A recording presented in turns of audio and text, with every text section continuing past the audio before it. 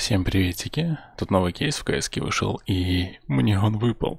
Правда, я замучился его выбивать, но тем не менее он выпал. И цена довольно-таки неплохая. Но стремительно падает, поэтому сейчас буду продавать.